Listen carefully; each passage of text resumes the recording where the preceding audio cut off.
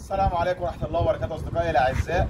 آه إن شاء الله النهارده بنتكلم عن خط الزرع الراوي بتاع الجنينة. آه بالطريقة البلدي إحنا عارفين نفتح محبس واقفل المحبس عشان أروي خطوط الزرع والكلام ده.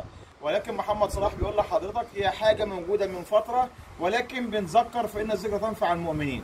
اعمل حاجة اسمها محبس كهرباء. ده محبس كهرباء ده timer اسمه محبس هانتر 35 على حسب اللي, اللي يمشي معاك في الكفاءة هنا. في الري آه مهندسين الري طبعا عارفينه وإحنا كسباكين عارفين إيه كل حاجة بالمواصفة بتاعتها في المقاس بتاعها. عندنا دي هنا كده جنينة وبره الناحية الثانية في جنينة تمام كده؟ آه بيجي لي الخط الرئيسي ده اللي هو بتاع الزرع. ده اللي هو اللي جاي من الماستر. أنا هنا مركب حنفية عشان لو عايز أشغل خرطوم واروي يدوي معايا حنفية بره محبس الكهرباء.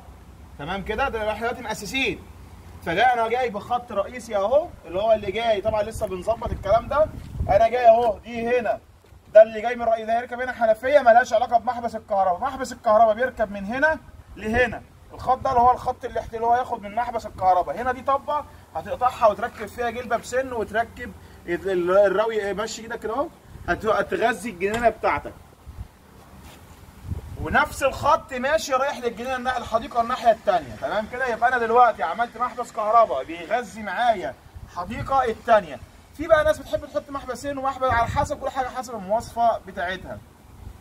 وبيحتاج لوحه كهرباء على علبة بيركب هنا بتيجي هنا لوحة latch بتركب هنا كده حاجة box خارجي كده شكلها شيك وكده حاجة waterproof وبيركب معاه محبس الكهرباء بيظبط لي بقى على timer عايز الري يشتغل كل ساعة؟